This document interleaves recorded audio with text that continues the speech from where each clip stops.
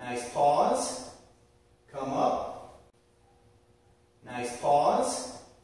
Come up. In this video, we have taken away our seats, whether it's a chair or a bench or a box, whatever it is, and we are going to go do a counterbalance. So the goal here is not that this is a heavy weight. This could be two and a half, five, ten pounds, whatever.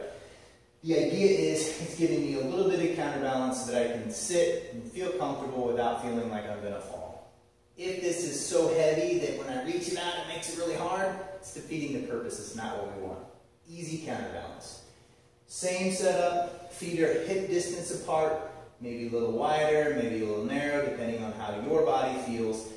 Feet can be straight ahead or they can be rotated out slightly, whatever feels best for you. I like to start off, everything's tucked in. As I sit my pretend chair, I reach this out. As I come up, I bring it back in. My feet stay glued to the floor the whole time. Nice pause. Come up. If I can, I put a little emphasis here. Tightness, tightness. That's too much to think about. Just sit down and stand up. That's all. Sit down controlled.